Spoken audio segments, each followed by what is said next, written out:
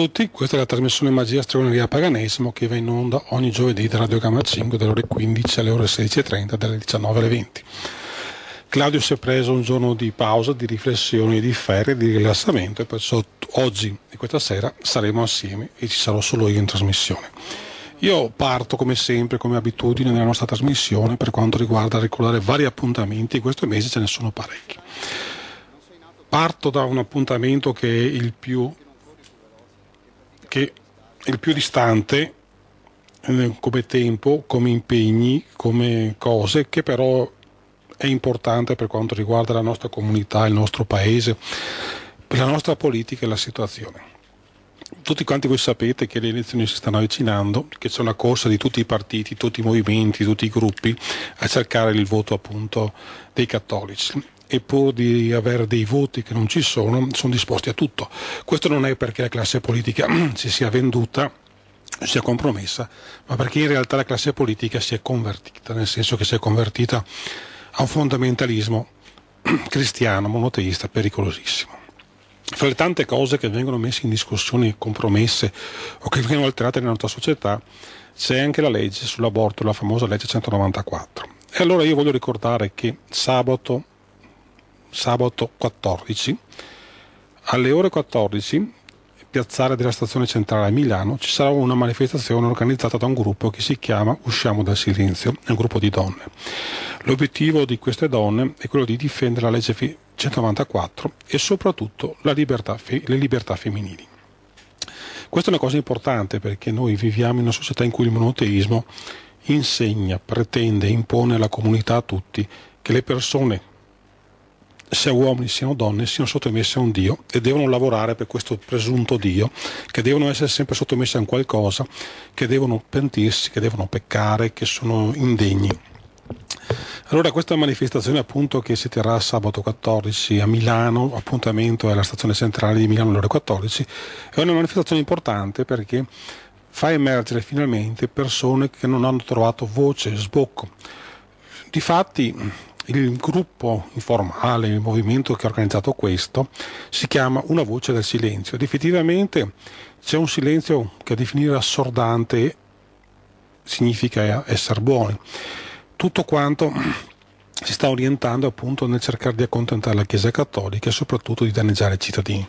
E allora è importante, a mio avviso, che tutti i cittadini, al di là dello schieramento politico, delle preferenze culturali e anche religiose, si rendano conto che l'uomo, che la società, non è fatta per essere modellata su un Dio che non esiste, non è fatta per insegnamenti moralistici, non è fatta per piegare, dominare e controllare le persone, ma è fatta perché le persone siano libere. E allora se uno si sente di dare un contributo, di essere presente, di fare qualcosa, lo faccia. Nessuno gli rinfaccerà di non aver fatto, però sapete che l'Inquisizione lavora con metodi violenti. In questo momento abbiamo delle leggi che garantiscono al nostro paese, non si sa ancora per quanto, una certa libertà. Gli individui hanno ancora una possibilità nella cultura, nella società di avere delle posizioni differenziate. Il monoteismo tende a livellare questo e anche le dire, tutte le dichiarazioni del signor Ratzinger e di chi lo segue e di chi lo va a venerare danno danno una sensazione, danno un metodo di misura, un termometro della situazione. Quando i vescovi parlano che non ci deve essere distinzione tra peccato e reato, sapete qual è quello che vi verrà prospettato in futuro? Che logicamente quelli che loro reputano peccati di natura sessuale sicuramente verranno puniti. E il passo successivo sarà sempre quello di annientare il peccatore, perché quel peccatore non si potrà mai essere abbastanza clementi, ma bisogna essere duri perché si penta. E quando questo peccatore, per i cristiani, per i monoteisti, vedranno che non si riconoscono i peccati, ma che rivendica, che chiede una libertà, una libertà che gli è innata, che gli è insita, che se la merita, che, che non gli è dovuta, ma che gli appartiene, sicuramente passeranno a metodi più drastici. E allora non è un grande sforzo andare sabato a Milano, perché la possibilità alle ore 14 e partire dal piazzale Stazione Centrale per fare questa manifestazione. E io invito appunto chi ne ha la possibilità di essere presente o di far conoscere questa iniziativa anche perché sicuramente i giornali, le televisioni saranno più impegnate a parlare di qualche cavolata, di qualche mostruosità, di qualche idiozia, che di parlare di cose che hanno a che fare con i diritti dei cittadini. Questo appunto è un impegno, è un incontro che non ha un'attinenza stretta con le nostre tematiche, però noi come sempre diciamo dobbiamo sempre essere particolarmente attenti nell'osservare la realtà che ci è attorno. Non possiamo farci sfuggire quello che accade, non possiamo voltarci da un'altra parte, ma dobbiamo essere capire ed essere presenti ad osservare. E quando delle cose ci danno disgusto, quando delle cose non ci piacciono, quando delle cose ci suonano male e non sono simpatiche, è giusto che noi diciamo chi ha possibilità o chi vuole fare qualcosa lo faccia. Ci sono altri due appuntamenti invece che hanno una tematica più diretta con la nostra trasmissione, anzi tre.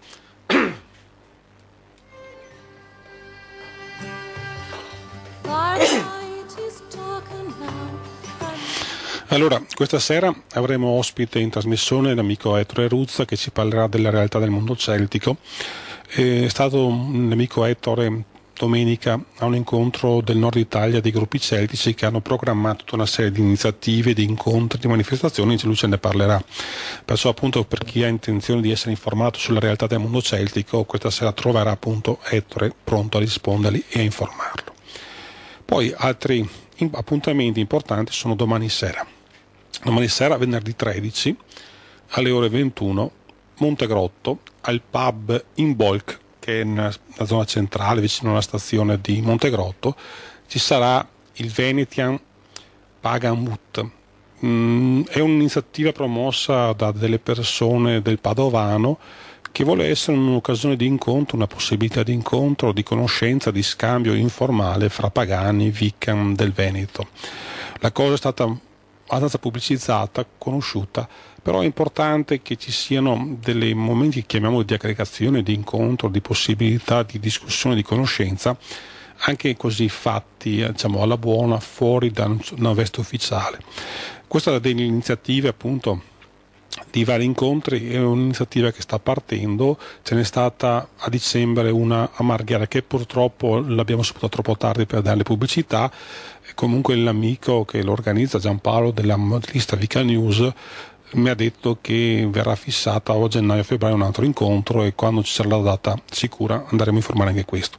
Però io invito gli ascoltatori che hanno un desiderio di incontrare pagani o di incontrarsi, di discutere di tematiche pagane, di trovarsi appunto domani sera a Montegrotto Terme alle ore 21 presso il pub Inbolk per questo punto Venetian, Venezian pronunciatelo come volete, tanto per io avrei preferito Venetekens come definicitura, comunque non essendo io lo sceglitore della sigla, accetto quella che viene proposta. Pagan Mut, che Mut praticamente è un nuovo neologismo inglese, come non ce ne fossero abbastanza, va bene, io prefer- avrei preferito o il veneto o l'italiano, però visto che è una tradizione come tipo di organizzazione e di orientamento derivata, mutuata dall'ambito anglosassone, accettiamo questa scelta. L'importante è che le persone abbiano dei luoghi, delle possibilità di incontrarsi, di discutere, di conoscere, di farsi conoscere e di scambiarsi le cose, perciò ogni appuntamento è sempre positivo. Allora, ricordiamolo per l'ultima volta, venerdì 13, ore 21, Montegrotto Terme, pub in Bolk, questo incontro pagano. Eh, ci sarà un tavolo con proprio la scritta così non c'è neanche bisogno di chiedere dove siamo. Altro incontro collegato direttamente appunto alla, tra- alla nostra tradizione, ormai chiamiamola perché ricordiamo che questa trasmissione ha già dieci anni di vita, ha già appunto un numero consistente di, di trasmissioni sempre dal vivo. I numeri telefonici per intervenire sono 049 700 700, c'è già un ascoltatore, sì, pronto? Eh, buongiorno, Sì. è, è la radio che non va un po'? No, la radio funziona, mm, da, quello che vedo io è funzionante. No, non si sente mica trasmissione qua? Come? Non si sente niente? No, Beh, a Fieso. a Fiesso. Beh, so che già altri ascoltatori della zona di Venezia si sono lamentati. Eh, Faccio una verifica qua, a vedere se... perché pensava che fosse da mai, ho detto, suona sempre una musica e basta. No, beh, musica in questo momento no, perché sto parla- stiamo parlando in diretta, tu Eh, non... si qui di Geua, no de... Mamma mia, No, No, hai sbagliato. Radio Maria, forse io. Dimmi. No, no, ho, sbagliato a parlare. Eh sì, qui de, de, de, che se- eh, cosa ha un nome? Claudio, no? Claudio non c'è. Eh, ora è stato che sta... Sì, io sono Francesco, sì. Ecco. Ciao. Arrivederci. Eh, eh, ci hai trovato? Adesso proviamo. Ah, prova, a caso meglio io farò delle verifiche, Eh, però... perché non si sente niente? Allora farò delle verifiche. Va bene, Grazie, grazie, ciao, scusa, ciao. ciao. No, figurati, ciao, ciao. Spero che si senta tutto perché almeno qua dai segnali di- dagli strumenti della regia mi sembra che tutto sia a posto. Sì, pronto? Pronto? Ciao Sì, Francesco. ciao. Ciao, sì. Tu senti la radio, sì? Sì, sì, sì, sì, Mm. perfettamente. Era la nostra amica probabilmente ha sintonizzato su Radio Maria e è sbagliata. Sì, sì. Sentendo stamattina solo trovare Massimo Donà serenità, no? Sì. Una passione che libera. Sì. Dunque Teleso, ho avuto che Telese Sì, beh, visto che Massimo Donà è un, un insegnante di estetica all'Università di Milano. Mm, mm. infatti ha un bel retro pagina, retro... Dunque, chiunque, chiunque si è interrogato su quale do- sia il dono che più ardentemente vorrebbe un giorno ricevere dagli dei, risponderebbe un po' di serenità. Eppure la natura di tale stato d'animo è quanto mai misteriosa. Tutti la desiderano, ma forse nessuno sa bene di cosa si tratti. Nulla a che, a che fare comunque con, con felicità, gioia, soddisfazione, contentezza, esperienze, quest'ultime destinate alla radicale inafferrabilità dell'attimo fuggente, così ben tematizzato da Orazio. Il sentimento qui interrogato riguarda infatti l'Eterno, un Eterno perfettamente immanente, tra virgolette, però, che non osa strapparci via dal gioco della temporalità e incantarci con la favola di una salvezza sempre di là da venire, che non va confusa, cioè con quanto vanamente promesso da troppo- troppe utopie, sia laiche che religiose. Un'altra specie di serenità, due punti, che vive incontaminata in ogni nostro gesto, liberando il profumo di una verità che ognuno di noi potrebbe disporsi a rammemorare, che non deve essere vincolata a questa o quella forma di appartenenza e neppure agli infiniti desideri che da sempre ci condannano a forme più o meno tragiche di fallimento esistenziale. Una serenità, insomma, che anche tali naufragi possono far diventare occasione di quella che già Dante si risolveva a definire senza ulteriori aggettivazioni vita nuova. Ecco, eh, dopo qua dentro che c'è degli episodi, dei, dei periodi, c'è degli episodi, insomma, eh, c'è un saggio. Sì, bene, ha scritto diversi interessanti, ha scritto anche uno sulla magia che è veramente buono. Epicureismo e stoicismo, di un vano studiare Seneca, ragione e passione, la tradizione giudaico-cristiana, male, peccato speranza, tra grecità e cristianesimo, speranza e inquietudine, Petrarca, Leon Battista Alberti, Cartesio, Spinoza, Leibniz, Nietzsche e Proust, indifferenza e serenità. Sì, beh, infatti dico, un autore che in ambito accademico riesce ad esprimere, a portare fuori, a far emergere sì, delle, delle ma- tematiche interessanti. Sì, beh, ma abbiamo sentito Mm. anche nelle varie trasmissioni da, da Auges. È stato sempre ospite, sì, nelle- nelle- le comincia- cominciamo bene le storie, mi sembra essere la trasmissione che ti fai riferimento. sì, sì, Mm. cominciamo bene. Sì, o, che- o che altro quello Mm. sulla magia. Infatti, ma anche questo deve essere ben eh, impostato come, come eh, ho dato uno, una scorsa Sì. Buona lettura allora, Milvano. Sì, sì, anche. Eh, ma te sai che io ho tanti iniziai. Beh, io ne ho migliaia di iniziati che aspettano di essere terminati, cioè nel senso che di essere letti Eh, e riletti. Sì, sì, ma che no, che mi tanti che quasi a fine, no? Dice Mm. quasi alla fine manca magari 50 pagine, però... No, no, io ne ho tanti che iniziali, ho visto solo la copertina, perciò. Sì. Comunque dalla, da retro, eh, della pagina eh, retro... eh, Sì, della quarta di copertina. o del- mm. Si riferisce qua agli, dei, comunque in ogni caso... Beatone, se parli di felicità puoi solo riferirti al paganesimo, alle culture Sì. antiche, non ti puoi certo riferire a Gesù Cristo perché felicità ne vediamo ben poco, insomma, in tutto il cristianesimo.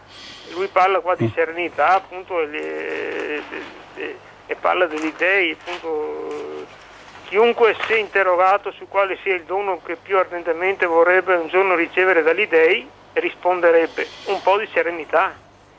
Ecco, Mm. eh, cioè, va avanti e così, insomma. eh. Comunque, Bene. ecco, Grazie per la segnalazione. Che altri non, non, non, non, non ho trovato niente ancora, non si arriva niente, va bene che essere feste eh, e dopo, che altro libro guarda se ho- Sì, sì. aspettare. Dopo che c'è un articolo qua su, su, sulla la Repu- sulla Repubblica, il Pax, che sai che è il raduno del Pax? Sì, sì, beh, sono- ho parlato appunto delle manifestazioni prima che ci sono a Milano per quanto riguarda l'aborto. Sì, so sì. che ci sono delle polemiche per quanto saranno una manifestazione sulle coppie di fatto qua a- appunto a Roma. Contro, eh, a Roma contro il raduno l'ira, l'ira della Chiesa. Grillini, Grill- lo Stato non può ignorare le istanze di milioni di cittadini vaticano omofobo. Sì, beh, purtroppo il Vaticano non è solo omofono, ma è, Sì, è nemico dell'uomo, per usare un termine vecchio, Sì, sì, insomma. sì, sì, beh, eh. Beh, non possiamo lasciare perdere perché loro non ci lasciano perdere. Esatto, quello questo, questo è il problema. Sì, sì, ma l'importante è, cioè, è vedere ben delineata la, la- la- la cosa, capisci? Cioè, Sì. Intanto, dopo, Sì. purtroppo, ti lascia perdere, no? Perché fa fatica a sganciarsi, insomma. Sì, ma loro, ma loro non si possono sganciare.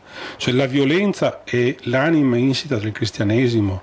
Sono razzi che non può essere diverso perché se sarebbe diverso non sarebbe più cristiano. Esatto, Cioè, non ti lascia cioè, è la natura del cristianesimo quella purtroppo di essere impositiva e violenta. È la parola di Cristo che attacca ed è pericolosa per la vita, per il mondo, per la società. Finché sarà qualcuno che penserà che Cristo ha detto qualcosa di positivo, saremo sempre in pericolo. Sì, ma dopo anche tutto il sistema suo, eh, capito? non può lasciar perdere eh, un soggetto.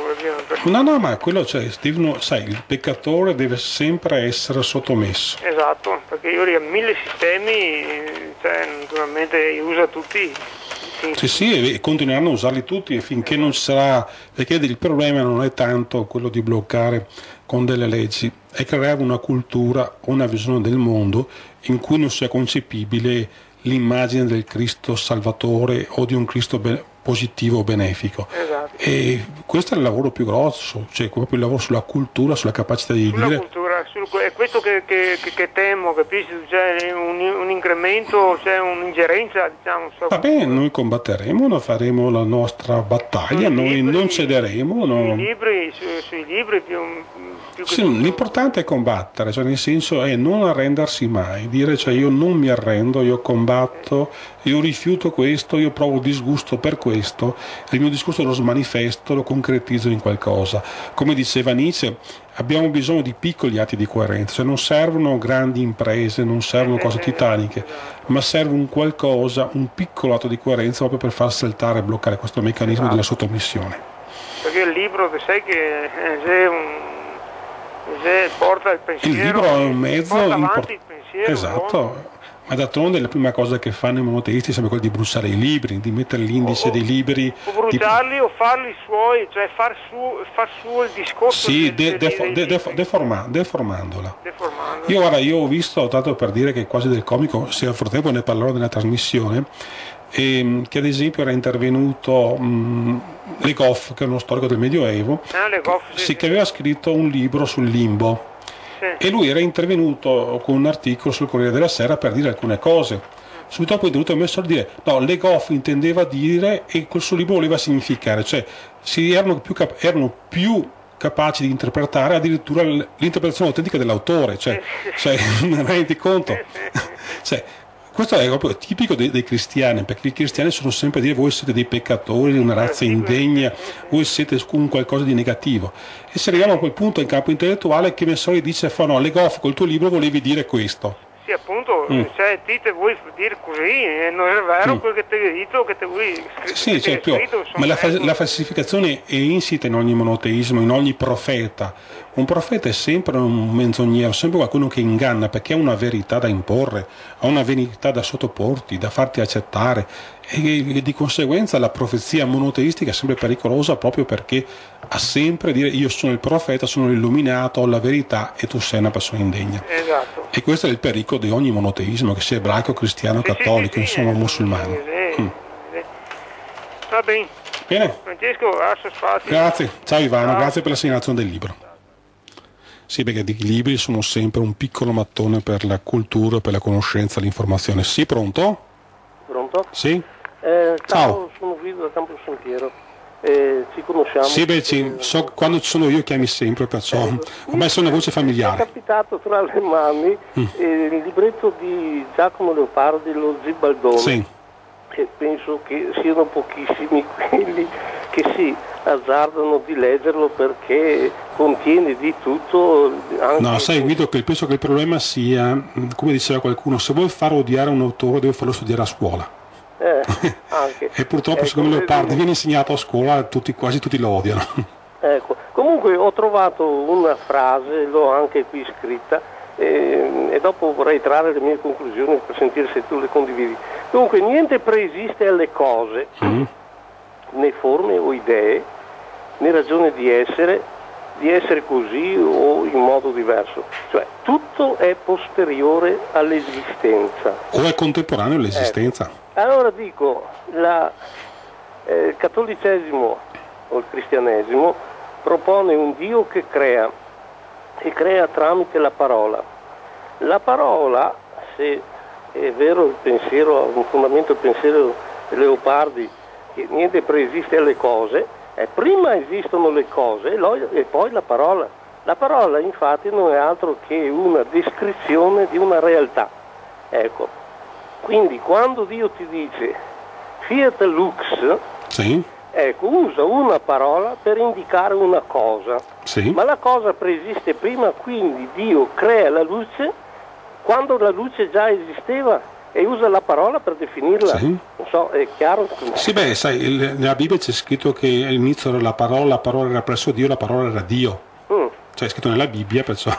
sì, no, ma volevo dire... per loro c'è capito, se cioè, qualcuno- il nominare le cose... Se eh, qualcuno va a scuola di filosofia ti fa un po' di semantica, sì, ecco, e lì c'è lo studio del significato, del significante, eccetera, della parola, con- eh, come si può dire, è l'abito che riveste una realtà che preesiste ed è al di è una descrizione, è una Quindi comunicazione Dio- della cosa. Dio di semantica non ne capiva niente. Beh, quello sì, questo, questa è una certezza che abbiamo. D'altra parte si dice ma a Dio tutto è possibile. Un momento perché Dio intanto è comprensibile agli uomini in quanto anche lui rispetta le leggi e che ha imposto agli uomini, infatti siamo fatti stando nella loro logica Sì. a sua immagine e somiglianza. Quindi anche per Dio 2 più 2 fa 4, 1 più 1 fa 2. Insomma non è che per Dio questo sia possibile mentre per l'uomo è inconcepibile. Ma se tu Cioè, pensi che il Dio dei cristiani Quello è... che è razionale per l'uomo deve essere rispettato anche da Dio come un qualche cosa di razionale. Quindi Dio non può creare con la parola. Ecco, perché questa presuppone l'esistenza della cosa indicata dalla parola. Sì, Quindi quando dice Fiat Lux, la luce già esisteva. Ha usato soltanto una parola per definirla ma non per crearla.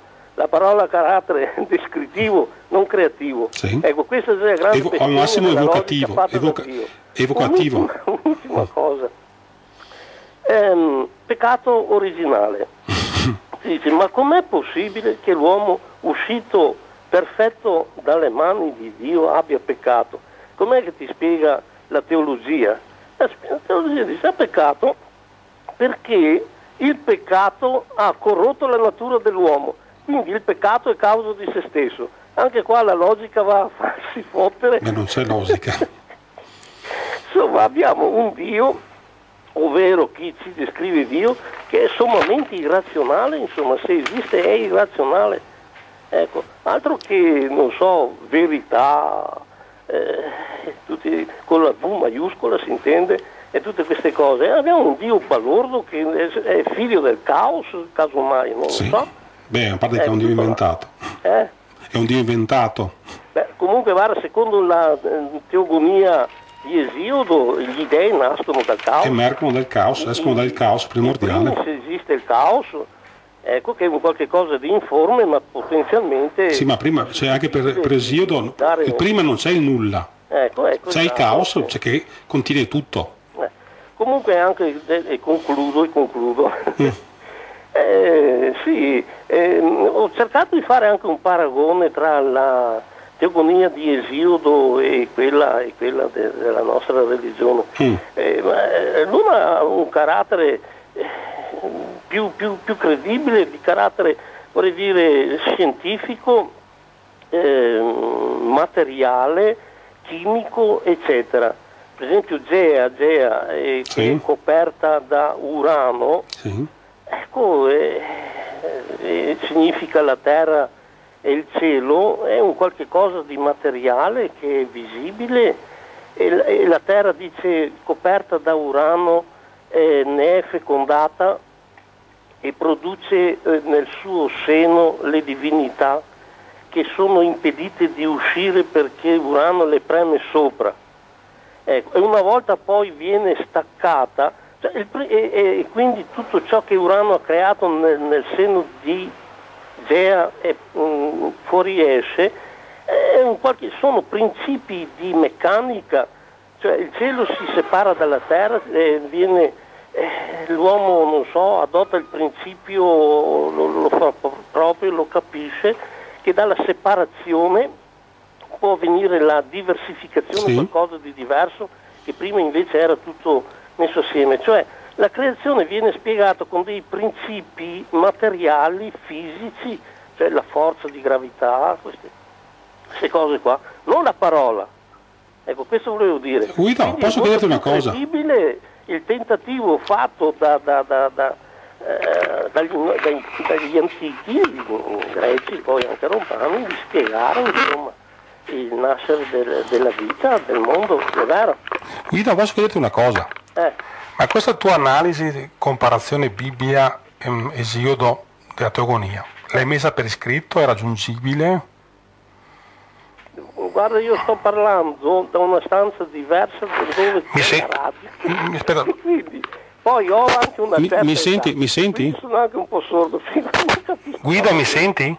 Eh? Mi senti adesso? Sì, sì, adesso. Allora, sta attento, volevo chiederti, ma questa tua comparazione tra Esiodo, Eh. la Teogonia e la Bibbia, l'hai messa per iscritto? È raggiungibile? È possibile averla in qualche maniera? Perché sono curioso anche di, di conoscere cose. No, io, io, eh, leggo tanto Mm. e, e questi- e queste mie idee non, non le ho elaborate io, sono frutto di letture che so, in Mm. parte le ho acquisite, in Sì. parte le ho elaborate io, insomma così. Quello che tu hai elaborato non l'hai messo per iscritto? Perché non ho messo per iscritto? Sì, non l'hai messo per iscritto, quello che hai elaborato l'hai solo pensato. Sì, no, eh, eh, dunque io ho fatto liceo classico Mm. Sì. suo tempo, adesso sono vecchio e è un tempo da perdere. Beh, non è tempo da perdere questo. Eh, sì, ecco. Eh, però eh, leggo ancora tanto come quel, quel signore che ti ha telefonato. Mm. Sì. Ivano. Ecco che sento sempre che frequenta le librerie, Sì. eccetera, e io sono uno di quelli che legge, però penso ancora eh, cercando di capire. Ma quello è essenziale. può leggere non si capisce niente. Ma non troverai mai la verità, cercherai sempre, avere sempre conoscenze. La verità? Non troverai mai una verità. Trova- la verità? Non esiste una verità. Chi? Non esiste una verità, cioè nel senso che tu uno cerca per conoscere, per comprendere, ma non per trovare la verità. Eh, La verità, non- sai, di- di- eh, passa attraverso il vaglio di una vita vissuta, Sì. ormai io ho anche una certa età, non è che la cerchi nei libri, la confronto anche con quello che mi è accaduto nella vita. Mm. Ecco perché se nel libro che io leggo e, e trovo la descrizione di un Dio che è sommo amore, eccetera, dopo la vita però lo smentisce perché vedo che c'è tanta sofferenza e Dio non interviene mai a lenire questa sofferenza, dico eh, sono mm, balle quello che mi raccontate. Beh, que- quello è vero. Quello che trovo scritto nei libri, ormai ho una certa età per, eh, come si può dire, vagliarla attraverso la, la- la vita, Sì. verità. Tramite l'esperienza. perché tu ti ricordi che io una volta ti ho contestato che ho detto Sì. eh, non puoi dire che non esiste la verità perché sennò ogni ricerca sarebbe a priori vana. Sì, ma vedi, questo è, è- sì, esatto, è un problema finalistico, cioè nel senso che noi non non dobbiamo No, porsi... no, la verità, la verità eh, esiste, eh, altrimenti non avrebbe neanche senso Possono esistere delle le- verità. le nostre valutazioni, perché se a priori si, eh, le si valuta come eh, eh, senza valore, Mm. il valore No, no, di ma vedi- di un detto No, ma vedi, ma Guido, verità. non si dà un discorso di valore, cioè si dice che appunto io posso, la mia esperienza non è finalizzata alla verità, ma alla conoscenza, alla percezione e al contatto. Di conseguenza anche una cosa che è falsa per me è vera, alla fine. Cioè... È, è, vera, no, ci deve essere un principio che trascende l'individuo. Il miraggio, cioè, il, vedi, il, il, miraggio. Bisogna trovare un qualche cosa che invece che ci unisce. Vedi, il, mir, il, miraggio è... Più due, sappiamo, più due lo condividono tutti? No, 2 più 2 è è una convenzione. È, è, è, appunto, è la nostra convenzione. E questa cognizione tu puoi dire che ha valore in quanto è vera? Sì, è vera perché noi, perché noi accettiamo che 2 più 2 faccia 4. Eh. Perché la nostra cultura dice questo. Perché noi abbiamo il bisogno dei numeri, perché la nostra mentalità, la nostra civiltà, la nostra cultura ha usato certi strumenti che altre civiltà o certe culture non hanno sviluppato. Sì, sì, appunto, ma quando, quando, quando, per esempio anche il, il, Cristo portato di fronte a Pilato, eh, al Cristo viene chiesto cos'è la verità e lui non risponde. Esatto. Ecco perché non può fare riferimento a, alla verità.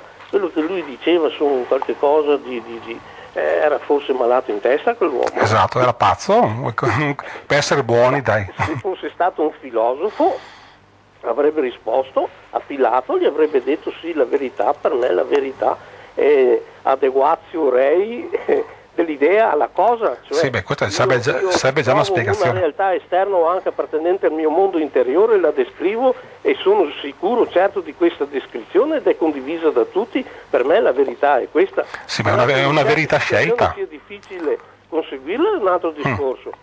Bene. Ma il Gesù Cristo non si è mai impegnato in discorsi filosofici. Assolutamente. Ma, ma, ma in asser- asserzioni eh, dogmatiche. Può dire eh, di, dogma. Apoditiche, sì.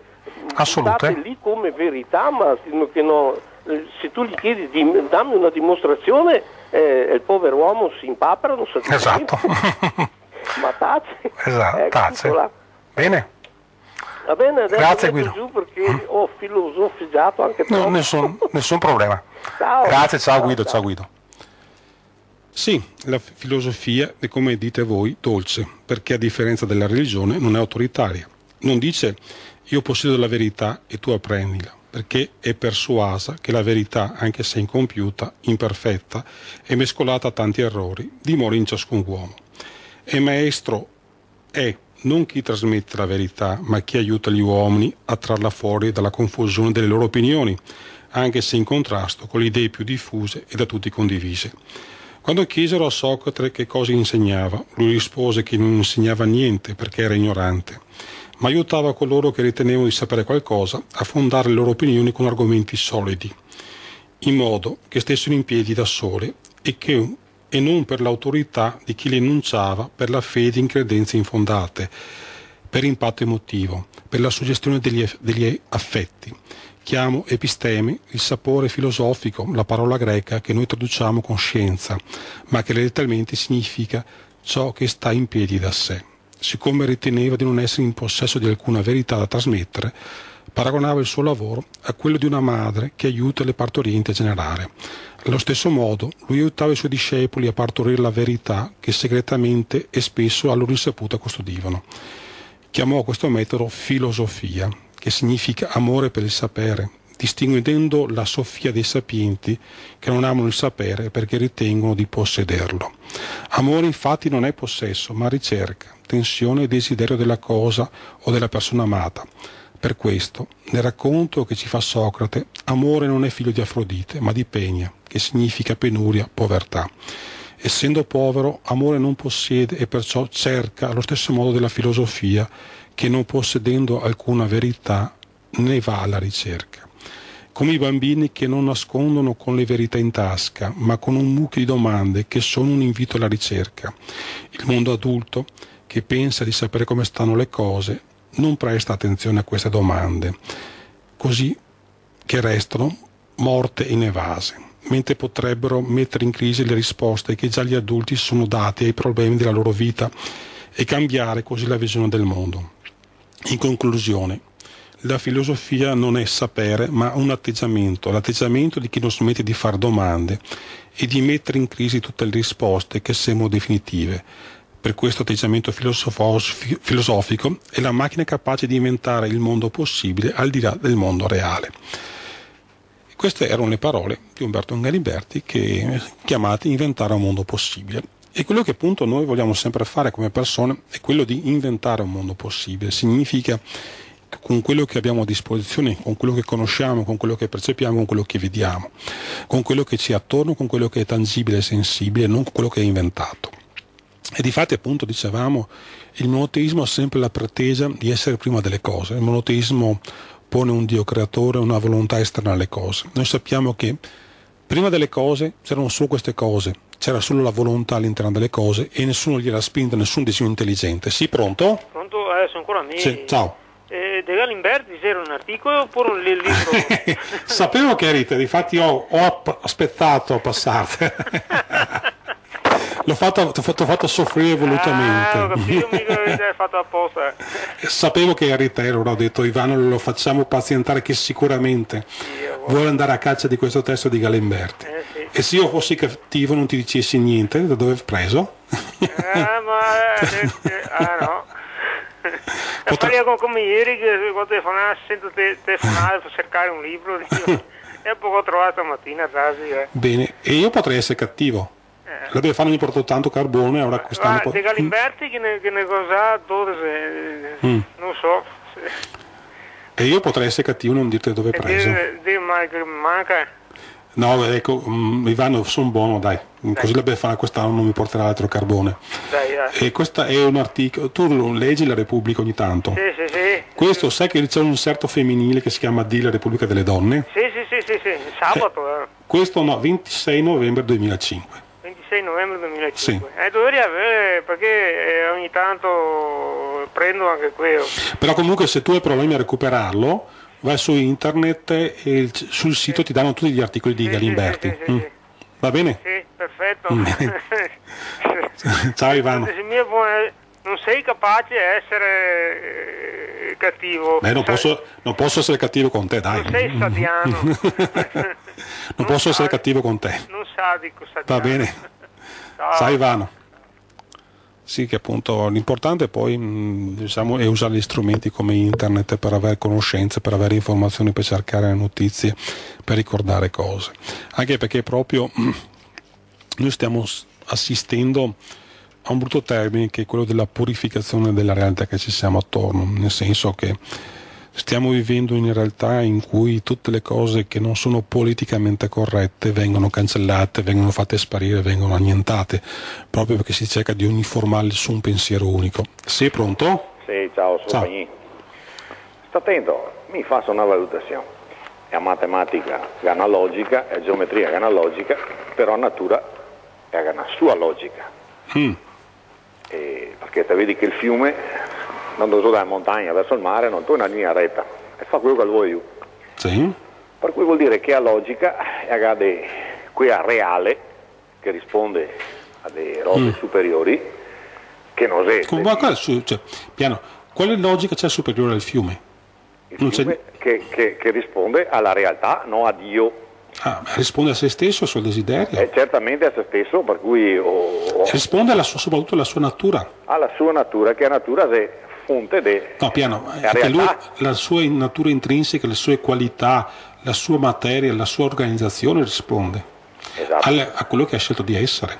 Ma eh, questo fa parte di una roba logica e reale, Beh, è una roba sensibile, tangibile che noi perché possiamo non c'è vivere il condizionamento né dell'umano, neanche del divino nel fiume, secondo me. Ma il fiume è già divino di per sé stesso, non ha bisogno di essere battezzato consacrato. Difatti. È già, è già una divinità. E penso che anche una persona umana, se non viene battezzata e violentata con, con- con tutte quante le robe, eh, potrebbe essere logica e, e rispondere alla Beh, realtà. purtroppo io penso come te abbiamo avuto la disgrazia di essere battezzati, però questo qua non ci ha certo reso menomati, ma ci ha reso persone sì che hanno subito una violenza, ma sono capaci di liberarsene, insomma. Purtroppo noi abbiamo avuto questa disgrazia di genitori che per condizioni ambientali ci hanno battezzato. Te Però questo esatto, sì, ma questo, questo- roba qua. Però mi sono andato a fonte e ho visto che Drio al battesimo che sta una eh, involontaria o volontaria delega dei genitori a far sì che il Boggia fosse incosciente. Sì, purtroppo i genitori hanno consegnato, hanno portato a marchiare, come, come il bestiame che si porta, sai, i pastori prend- vanno a marchiare per riconoscere Eh, i loro capi. Invece che cavare il peccato originale che diventa iori, inibito a coscienza, perché quando che dopo il boccia che domandava giustamente perché e che altri che rispondeva che se un mistero, dite capisci che questo qua non può altro che se che crede deve stare incosciente perché ti devi rispondere con la logica, coerenza, te puoi Sì. dire che una volta ne scontavano altri che nascimmo sotto il cavolo e una volta che io più grandi capivimo che non era sotto il cavolo. Ma ti che quando te viene grande, i misteri resta sempre misteri. Forse qualcuno... il mistero è, è- è come questa religione possa ancora mantenersi nelle teste delle persone. Ma solo che andare a discutere non serve niente. A- Sì, le mi- persone sono, con- sono mica come andare a Mengo, con come si andare in mezzo alla natura, dove che non vi era condizionamenti, almeno per me, e ho trovato tutto. E a quel punto è, ori, Basta saperlo me ne prego, ma che siete più, che faccio di ragionamenti razionali, che puoi capire anche i bigotti, no? E anche i spaggiatori di particole e di puttanare. Cioè, io ridise che qua Fede puoi spostare montagne. Allora, in Val de Susa, che è una montagna che, che rompe le scatole perché ha l'amianto là, i va, Mm. i prega tra i ori, i valdesi, ciapa chi chi vuoi, i sposta la montagna, i fa il tunnel e poi vede la montagna in cima. Ma non sarebbe semplice, bisogna dimostrarlo o no? Poi, puoi proporlo, scusa, poi, poi, puoi riciclarti come consulente e dire vabbè risolviamo il problema in questa maniera, insomma. Oh, guarda che eh, sarebbe una soluzione qua che se qui da Val de Susa che non vuole e il governo che vuole ha, che se di costi, io ri- che ho dichiarava quando nati che a fede sposta in montagna e anche una che rompeva, e sposti un attimo te rimetti a. troppo- troppo ma che c'è semplice. ancora la gente che va gente- a questi qua. E dopo te capisci che finché era solo che io ri- a rendere incoscienti e dalla vita alla morte, e che contava la storia l'orso alla fine che forse andava in paradiso, per cui non si è mai tornato nessuno a dirlo, ma Adesso si arriva che altri col baucometro e che ha detto, visto che sei di bauchi che mi casa formai, non altri li gestimo. È Sì. quasi, è quasi che fuori, è a fine del mondo, perché col baucometro che dice che quello che dice il baucometro non può essere contestato. E io le dice quello che vuoi. Perché visto ultimamente è influenza di polli che io, Sì, ma questo, questo è un problema secondario, cioè nel senso che se tu pensi il fatto stesso del battesimo, quanto è importante per dire perché salvare il bambino, se tu pensi che ad esempio adesso stanno pensando di, di far fuori il limbo, di far fuori il purgatorio e poi racconto delle cose che sono veramente tremende e terrificanti. Se tu pensi che sostengono che tramite le messe si può far cambiare la situazione delle persone dopo la morte, eh, vabbè, questi, sono- peggiori addirittura anche dei- degli stessi ma qua che smaghi. sei- che sei a Villa, a Villa di Tigli, se poi sempre dai, come gli mandare a Pantani, mandiamo a Cano, i, i riabita i, i via de mente, cioè qua nei colli che ma Villa di Tigli, che se fa via de mente, ma di mente, insomma, cioè, guarda che questi qua continuano a parlare per televisione, a, a dire quello che dice, e la gente, te senti, guarda che non ho sentito questo, e si è prese per i fondelli. Sì, ma la gente crede alle cose assurde, ma è un problema della gente, l'importante è che non ci crediamo noi. Tutto, cioè adesso Ma vedi, il problema è che non ci crediamo noi, questo è l'essenziale. Se gli altri vogliono essere masochisti, lo facciano pure. fa una cosa che si deve passare per il baucometro, che l'influenza di polidea e poi andare verso ovest. Ma io sei i migratori, che è sempre andato da nord a sud, mi può andare verso est e verso l'America. Nessuno che ne parla. È una roba logica, ti ricordi? Guardatelo. Ma che mia cosa pa via telepatica nostra roba Mm. qua, perché certe robe se dopo vieni qua il mag- magistrato a domandarte. Ti ricordo che in ricerca dell'antrace e Sì. che a trovare in America. Sì, Allora vuol dire che il primo gallo che canta, che ha fatto l'uovo, Sì. che c'è gente che arriva a intendere, mi avevo udito dopodiché, ormai mi non cambio quello che può succedere, ma ve lo dico cosa che succederà in, futuro. Ognuno deve fare delle proprie scelte, deve essere responsabile delle proprie scelte. Bene, ciao. Tanto per dare un, un esempio della follia, mm, ci si lamenta molto dei maghi, dei presunti cartomanti e così via. Leggo questa frase. La liturgia conosce da sempre l'intercessione per i defunti, dunque l'esistenza di uno stato dove la permanenza può essere accorciata o alleviata. Qui la Chiesa si è impegnata con definizioni di fede, il purgatorio, alla pari del paradiso e l'inferno, non seguirà la sorte del limbo, parola di catechismo.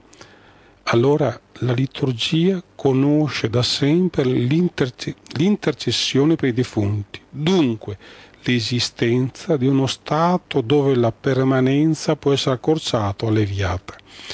Queste sono le parole di un grande scrittore cattolico di Vittorio Messori. E allora pensate cosa arriva a dire questo, che pers- una persona morta può stare al purgatorio o si può spostare da qualche altra parte se c'è un'intercessione esterna tramite ad esempio le messe per i defunti. Ma allora noi ci andiamo a lamentare dei maghi, dei cartomanti, di chi fa magia, di chi pretende con l'oroscopo di sapere qualcosa? Dicono che sono bugiardi, che sono mentitori e che però hanno sempre più una possibilità. Un cartomante ha il 50% di possibilità di dirla giusta o di dirla sbagliata, di conseguenza ha un'altissima probabilità di azzeccare e di essere verificato soprattutto. Ma come si può verificare l'affermazione la liturgia conosce da sempre l'intercessione per i defunti? Dunque l'esistenza di uno stato dove la permanenza può essere accorciata o alleviata. E logicamente noi abbiamo migliaia di chiese che organizzano le messe per i defunti perché queste messe per i defunti servono per far passare le persone dal purgatorio al paradiso e questi non vengono considerati ciarlatani come i cartomanti, come i maghi e come gli astrologi. Penso che un astrologo sia decisamente più serio di un teologo. Ma questo proprio succede proprio perché la cultura cattolica, cristiana, monoteistica, ebraico, cristiana, mm, tutto quello che ha a fare con il monoteismo porta sempre alla cancellazione delle capacità delle persone. Il cattolicesimo, il cristianesimo, il monoteismo è un problema per tutti. Ed è un problema non soltanto per la gente che ha avuto la sfortuna di essere povera o di vivere in situazioni estreme, anche gente che è ricca, che può vivere in grande paese, può avere questi problemi de- derivati dal cattolicesimo, dal cristianesimo, dal monoteismo. Io prendo un'intervista a un'attrice famosa, Susan Sarandon. Sarandon. Questa dichiara in una sua intervista, dice che lei sono la prima di nove figli di una famiglia cattolica. Non ho ricevuto un'educazione da cui è facile affiancarsi. Nelle preghiere che recitavo prima di addormentarmi chiedevo che i comunisti non venissero a torturarmi. Poi è andata, dice ancora, prima sono andata all'università cattolica e, poi, e mi sono sposata. Dice, mi sono sposata per ragioni pratiche, non perché fossi pronta a impegnarmi. Vivevo insieme e se ci avessero scoperto ci avrebbero cacciati dall'università. Tutto perché un discorso moralistico cattolico. Ma cosa si trova una persona che è vissuta così? La domanda è, Playboy l'ha corteggiata per anni, come mai non ha mai accettato di posare nuda? L'educazione cattolica. Risponde la Saradon, me l'hanno chiesto per circa vent'anni, Devo aver pranzato coi direttori almeno 25 volte e il compenso che mi offrivano diventava ogni volta più alto. Alla fine mi ero quasi decisa a farlo quando sono rimasta incinta. Sono giudici severi i suoi figli, viene chiesta da Susan Sarado. Loro non sono interessati ai miei film, non vogliono non vedermi baciare un altro, non vogliono nemmeno vedermi mettere, mentre bacio il loro padre. All'Innocente Tribute però mi hanno accompagnato, c'erano David Bowie, Core Vidal e altri che dicevano cose meravigliose sul mio conto e poi hanno mostrato aspezioni di, di film. Giuro, non si è visto mai nemmeno un capezzolo. Eppure mio figlio, scandalizzato, mi ha detto ma ti sei, ma ti sei mai posta il problema che un giorno avresti potuto avere dei figli? La domanda del giornalista è Playboy. A questo punto sono messo il cuore in pace un giorno mio figlio è tornato a casa e mi ha chiesto, ma è vero che hai fatto anche una vampira lesbica? Il film era Miriam si sveglia a mezzanotte e la sua era una sintesi un po' faziosa. Sì, direi che con Playboy la partita era davvero chiusa. Allora una grande artista, un'attrice, che l'educazione cattolica ha completamente sconvolto. Sì, pronto? Pronto? Pronto? Sì? Salve, sono il presidente onorario dell'associazione Marco Pantani. Ciao Paolo.